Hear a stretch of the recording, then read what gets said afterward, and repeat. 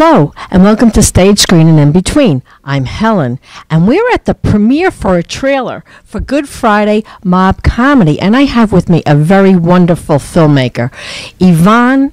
Maria Schäfer. Yes, and she is from Germany, but she also is, she's an actress and a producer, and she does work in Europe and in the United States, so she's an international filmmaker. I traveled a lot, and so um, currently I'm involved in various projects. And so um, just two weeks ago, I was shooting a film in uh, Texas. It was uh, titled Pizza Joint, and I had a very funny role in it. And um, it is Noel Gugliemi's um, first feature film. And uh, he was acting in uh, Breaking Bad and uh, also in Training Day. So, yeah. So it was very exciting to uh, work with them. And also, I'm producing right now a film in uh, Bangladesh. It's called uh, Rickshaw Girl, and it's about a 14 year old girl who tries to support her family and steals a rickshaw from her father and crashes it. And so the family has to starve because that's the only way they, they can Yes. earn money.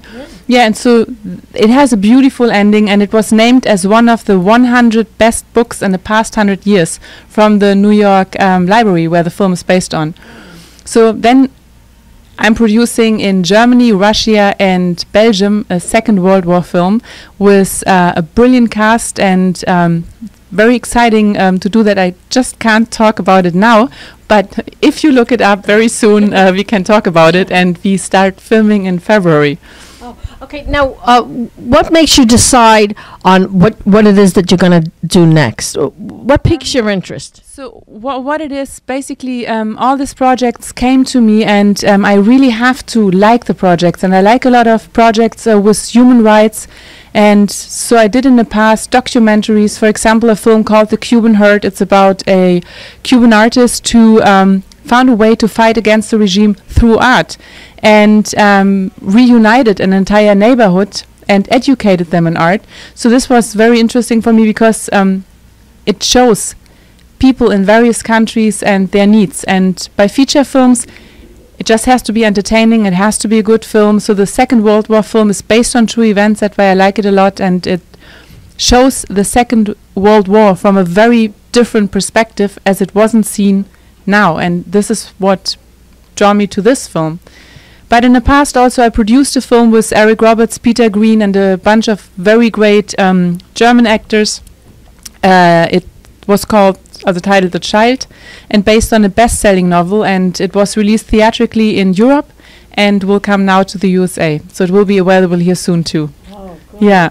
You're so busy. Now, how, how do you keep track of everything? Y- You're flying uh, to Europe, you're coming back. How do you keep track of it all? Sometimes I go crazy. So I just go next week back to Germany for 10 days. And uh, as I said, I just come from Texas. So, but since I'm 15, I'm traveling. That's what I do. So I lived in Asia, I lived in Africa. And so now I'm here since eight years and I'm very happy in New York. And I love the people because um, it's a great energy in, in, in the USA. And I love the spirit here. And it's just great to work here. Now, Every I, s- I I know you're so busy, but the name of the show is Stage Screen and In Between. So, what do you like to do in between? Do you paint? Do you dance? What is what hobby do you have? My hobby is I did extreme sports my entire life, like skydiving, snowboard, snowboarding, uh, border cross, everything what you um, can possibly do, and this is what I do on my travels. So the second I see a mountain, I'm on top top of it, and yeah.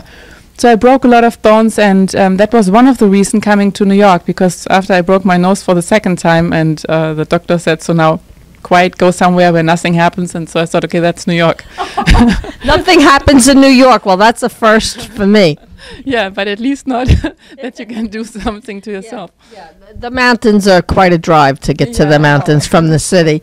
But uh, is there a website where somebody can find out more about you or see your films, maybe? Um, I have a Facebook page. It's uh, Yvonne Maria Schäfer, and then um, for the films there is my company site, which is YMC Entertainment on Facebook, and also um, as a, a homepage, Yvonne Maria Schäfer and YMC Entertainment. Thank you so much, Yvonne. Thank you. How lucky am I right now to have the very talented Michael D'Amico, who entertained for us tonight at Good Friday Mob Comedy trailer premiere. Yes. You were was a great sensational. It was a great trailer. I enjoyed the uh, what I saw tonight. I think it's going to be a very funny movie. And Sal Rinella is a very talented, and uh, I'm very proud of him and everybody that was involved with it. It was a, a very. Uh, I'm looking forward to seeing the rest of it now. So- I know. And I had. It's going to be exciting. Warming too. It was good to get up there. Yeah, so tell me about the song that you sang because he sang a terrific song. It was very disco-y. You wanted to get up and dance, and it had to do with the fashion industry, right? Yes, it does. Well, actually, I, I wrote this song uh, for a friend of mine. Her name is Yana Ben Huri, and she owns a fashion house. And um, I was talking with her husband, actually, who I wrote another song for for a movie that he did. But anyway, um, I did uh, a band version of uh, Fashion House, Fashion World. Uh, it came out great. I'm very happy with it. And then uh, I have a friend of mine who I knew a few years back, and he became uh, one of the premier remixers of the old music, like Donna Summers and Madonna and stuff. So he started remixing everything. And I brought him and I said, you know what? I'm in the fashion industry here with this song. I'm trying to hit the fashion industry. I've got my band version. But, you know, fashion has been in Milan, in New York, in Paris, and there were discos there too. So I hooked up with my friend Dave Sarenson and uh, put a production together, a house version of the same song. So uh, I, I think I have my bases covered now. I got the discos covered. I think I have the radio covered, and uh, the reaction tonight is um, I'm very happy. You know, to get to see people. that, You know, they don't know a song they're hearing it for the first time, but it moves you. I'm on the right track. So how did it come to be that you write music?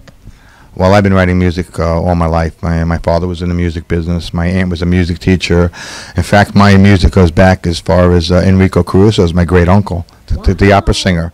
So uh, yeah, and uh, in fact, when I did the movie uh, with uh, Paul Sorvino, Price for Freedom, he was uh, he just had finished doing a shoot, and he went to sit in the back, and he I heard him singing opera. He was amazing. And then I walked up to him and I go, Mr. Sorvino, you sound really, really good, almost as good as my great uncle. And he looked at me and he goes, Now, who's your great uncle? And I said, Enrico Caruso. And he goes, No. And he pulls out his iPod and he's got all the Enrico Caruso songs in oh there. Then he takes a picture of Enrico Caruso and he goes, you know, you two guys have the same nose. I go, forget about it. So anyway, we, we kind of like bonded a little bit with the, oh, with the opera, but he's amazing, amazing actor, and uh, actually looking forward for Price for Freedom to come out. Uh, Fashion House, Fashion World was written for Yana Ben Huri, but I wrote Price for Freedom for her husband, Dr. Mark Ben Huri, who um, wrote a book called Price for Freedom um, and then did the movie, and it's all about the Iranian hostage crisis back in 1979, 1980, uh, when the Shah of Iran was kicked out and the Ayatollah Khomeini took over. And this is when all of the Islamic um, jihad or terrorism all started with, uh, you know, we have it ISIS today, then it was you know Hamas, but um, it's an it's a fabulous story about how he got his family out of Iran, people that you know, and it it really is a riveting story. And Paul Sorvino played an amazing part as the um, the Shah of Iran. Um, Navid uh, Negahban played Dr. Mark Ben Huri. He was also in Homeland, and I believe he was in American Snipers too. Fabulous. I just saw Paul Sorvino in LaMotta Bronx Bull, and he was terrific. Yes, and I saw that as well, and, and he was terrific. Yeah. Uh, he had me a little bit there with the father-son scene that I saw. Um, so you know, hopefully uh, we just keep plodding away. Um, take it back. Hopefully we'll take off as well. The, uh, this comedy here. So you know, we got the irons in the fire. But I have to say, you know, I've been in the music business all my life, and I've had the opportunity to get into the movie business, and I love it because it's a lot of creative people, Yeah. and um, it's just down to earth, and everybody's struggling to, you know, do their thing and and uh, pursue their dreams, and it's just it's really nice. And Yeah, and you meet some really great people along the way. Now, do you have a website where somebody can find out more about you, or maybe Well, so, a Fa- site on iTunes or something? I'm on Facebook actually, um, uh, Michael D'Amico. I have my own Facebook page and my own personal page. I do own MikeD'Amico.com, which took me eight years to get it, but I finally got it, and we are in, in the process of uh, getting the uh, w- the website up. So eventually, but you can see me on Facebook, and uh, you know, take it from there. If you want to friend it, that's good too. Oh, are you performing anywhere coming up? Um, well, actually, uh, performances will happen hopefully soon. I'm meeting tomorrow with uh, the people from Price for Freedom, and I'm hoping, you know, that we're going to promote this movie big time. And I'm hoping Paul will, and I will go on. You know, Good Morning America, Ellen DeGeneres, uh, you know, Jimmy Fallon, and then he promotes the movie. And then I go up with my band, and we perform the song, and hopefully we hit radio, and uh, hopefully, you know, I'm like praying a little bit for the Academy to like listen to the song and go, "Hey, Well, listen, you're putting it out there, and now the universe knows, and now you just got to keep going in that That's direction. I wrote a song about the secret. You got to put it out there. That's it. You know, if you speak it, it could happen. That's it. That's why you always have to say positive things and think positive thoughts because they do have power. They do. They absolutely do. And um, you know, so that's where we're at right now. But I'm I'm optimistic about the future, and every day's a miracle. So we just uh, keep. Uh, It is a miracle. It definitely is. So we're going to go outside, and you're going to take a picture with me in front of the step and repeat. How does that sound? do that. Okay. Thank you, Mike. Thank you. Okay, it's nice to be here.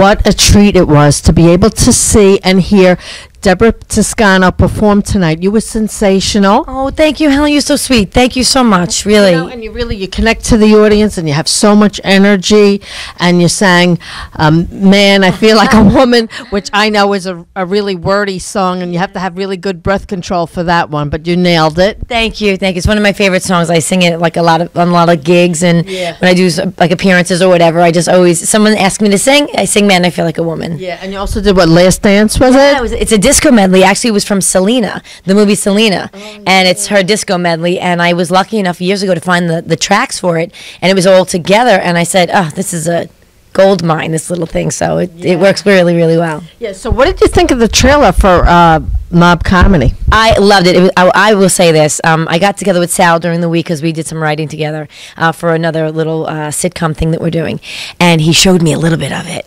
and or a lot of it, I should say. And I w- we were laughing like It's like funny. it was really it's so funny. And then he added uh, obviously some more things that I didn't see when I saw it. It hilarious, just so funny. The I love his writing. I love his writing style. Um, I think everybody in, in it is just so awesome, and you know we've all become you know friends and, and colleagues, and we all we're all working together on each other's project. It's well you know sal a really long time very long time. We went to college together, and uh, and then we got reconnected uh, through Facebook and some friends, and uh, it, it's just it's wild, like where uh, you know everything kind of comes full circle. You know, it's funny because I just finally put together this little um, promo that we had done uh, during the summer by my pool, and he was talking about how he was influenced to write this in the first place, and he was saying how his parents, you know, had were Italian and they had the broken English, and that some of the phrases he was going to use in the show because they were comical, and I didn't know they were going to be that funny Yes.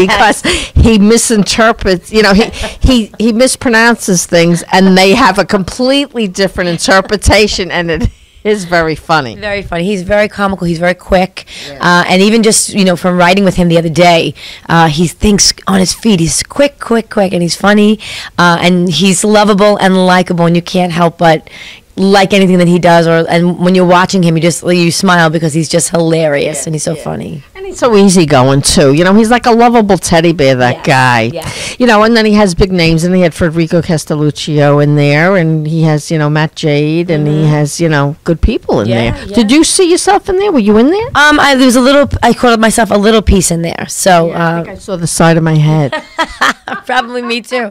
Me too. I'm like, oh, there's my hair. So it's all good, you know. It So. is. It is all good, but you know, uh, they they did get a nice mix in there. He had like a, I saw the shot of Corona Park, something with the parade, and then you know, it, it it was it was it was well put together. I thought. Very, very much so, and uh, well thought out, and uh, funny script. You know what he had when he s- uh, when we did the the the parade day. Uh, very well thought out, and it's just it's, it's hilarious, and it's so funny and off the wall, and it's so Sal, and it's it is it's so Sal. I mean, he's because he's awesome, and he's just he's a, a great friend, and he's a, a great talent. Yeah. Really, really tremendous. Yes, And speaking of talent, you just did Snitches, which you were f- very, very. f- You had a funny little scene in there. It was like a, you know, kind of a, a, a scary movie, you know, in in a way, a little tough movie. But you had some comic relief in there, which was nice to see. Yes. And you're very good at that. And uh, you have some other things coming up. I know uh, the one with the big house. What was that one? Uh, that's my screenplay, actually, Bohemia, and uh, we are slated to hopefully uh, start um, shooting in January. Did you write that? I did. Yeah, it's my first uh, shot out of the gate for uh, writing a screenplay, and uh, it's a really Yeah. yeah. It's a feature, right? Yeah, it's going to be uh, an independent feature, and uh, a lot of a lot of writing and a lot of craziness and a lot of characters. But uh, Now, how many times did you have to revamp that? I'm I revamped it probably about five or six times. Yeah, five or six times, and then You're not done yet. Well, I'm I'm done, but I I, I just keep getting more ideas to add in and, and like for improv uh, scenes and cameos and different things. But do you have a website where somebody can find out more about you? Yes, uh, it's www.deborahtuscano.com. I'm on Twitter, um, Debbie Lala. I have Instagram, Debbie Lala 105, and uh, Facebook. All my Facebook pages is just my name, so uh, all good. Debra Toscano. Is that D E B R A or B O R A H? Uh, D E B R A. Yeah, yeah. They they The, the short version. short version. My mother took the short route for my name. Absolutely. Absolutely. Okay, short and simple, but there's nothing simple about this girl. She's very complicated in all the right places. Thank you, Debra. Thank you, Helen. Mwah. Here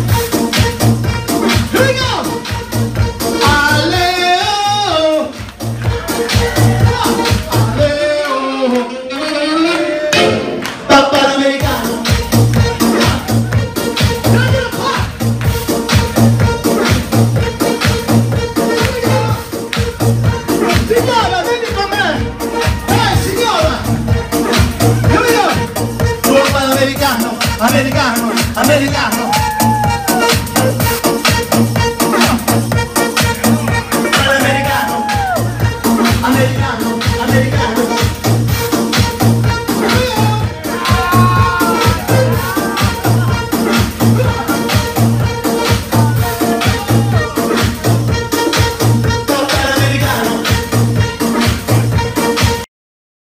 I have as my guest now Giorgio, and he has a very interesting thing that he does because he not o- only sings and dances, but there's uh, an added secret weapon that he uses. You want to explain that, Giorgio? Oh yeah, my secret weapon is people think when I say my secret weapon is what a knife, a gun, but no, it's my goggles, and this is why. what do you think? I love it. It's unique. Yes, it is. Um, you always have to add some type of character as being a musician, an artist. Um, I'm not the type of performer just to come out with jeans and a T-shirt. No, Right. I like to add uh, creativity. I like people to talk about. This is something to talk about because this Yeah. actually put me on the map. I'll say. Yeah. Now, what was the name of the song that you just sang? And did you write that? Is that original? No, no. The um the first song is uh, called "Pop the Bubbly," which is an original. Yeah, I love that. Yeah, thank you. Pop Pop the Bubbly, which I uh, co-produced with uh, Giuseppe D. He worked on many, many records uh, from Gloria Estefan to uh, remixes from Michael Jackson, uh, Whitney Houston, the late great Whitney Houston. Wow. Yes, NSYNC. Um, and, that, and then the record that basically I uh, redid uh, was We No Speak Americano, which uh, is subtitled Papa Americano. It was a worldwide hit, which I covered. And uh, I Are you from Italy? well, I'm Italian American, but I'm very Italian. Parlo italiano, mangio italiano. I'm getting hot now. uh, yeah, so um, my second residence is in uh, Sicily, Italy, where I am most of the times in the summer. Oh, Yeah, and I have my family there, which you know I adore and love. Okay. Now you do a lot of dancing too. So uh, how did you come up with that routine? I don't know. I, I I'm Fred Astaire. I love to dance. I, it's in my blood. Yeah. And you do quite a bit of traveling. You want to say something about the upcoming events that you have going on? Yeah, yeah. Um, well, I'm doing the uh, Columbus Day Parade, my second time on. Now, what are you going to be doing for that? Are you want to float? Are you dancing through the streets? I'm gonna dance. I'm gonna jump. I'm gonna make pizza pie. I'm just gonna sing my heart out. Hey, and have Italian pride. Yeah, which I have a lot of Italian pride. I'm happy to be Italian. Now, what other shows have you done? Oh, I performed uh, all over United States, Canada, Europe. Um, soon we're gonna hopefully go to South America now. Oh, you know, Argentina, Chile, which I haven't covered yet. Brazil. You know, I love Brazil from what I heard. Yeah. Other than singing and dancing, what do you like to do in your spare time? Do you have any other hobbies? Um, yeah, I do have hobbies actually. I love to uh, work out. I love to cook. I love to spend time with my child. You know, I have What do you have, a boy or a girl? I have a girl. Yeah, How old is she? thirteen. Yeah, I, yeah, oh. and she's super beautiful. Oh, that's nice. It's a it's a difficult transition time. Some some yeah, it is, sometimes. it is because you know when she was young, she's like, "Oh, daddy, daddy, daddy," and I'm like, "What do you want?" I love Now, and now they they start seeing boys and daddy might be second for a while, but then they always No, become daddy's still. I'm a girl. first still. I'm a first. I'm a first. Okay, let's not uh, jump the gun here. Okay, so now do you have any website where somebody can see w- what you do or find out where you're going to be? Hey, I'm on Facebook, Giorgio Trovato. I'm on Instagram, Giorgio Vola. I'm on Twitter, Giorgio Vola. I'm not on LinkedIn yet. Uh, Vola? V O L A. No, no, V O L A. Actually, it's G I O R, G I O V O L A on Instagram. Yes, Oh. follow me. And then on Facebook, I'm my own name, Giorgio Trovato. G I O R G I O, T like Tom, R O, V like Victor, A Apple, T Tom, O Oscar. Well, thank you so much, Giorgio, and I really appreciate your energy and your tunes. You gave a great performance. It was really the highlight of the ah, evening. Oh, thank you so much. Thank Yeah. you, Miss Helen. Thank you so much.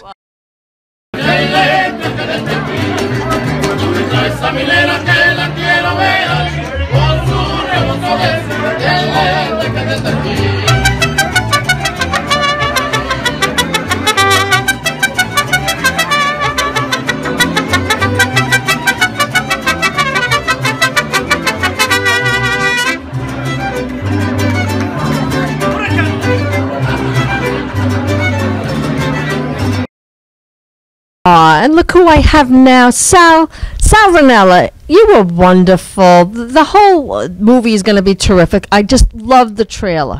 Thank you, Helen. We put a lot of work into it.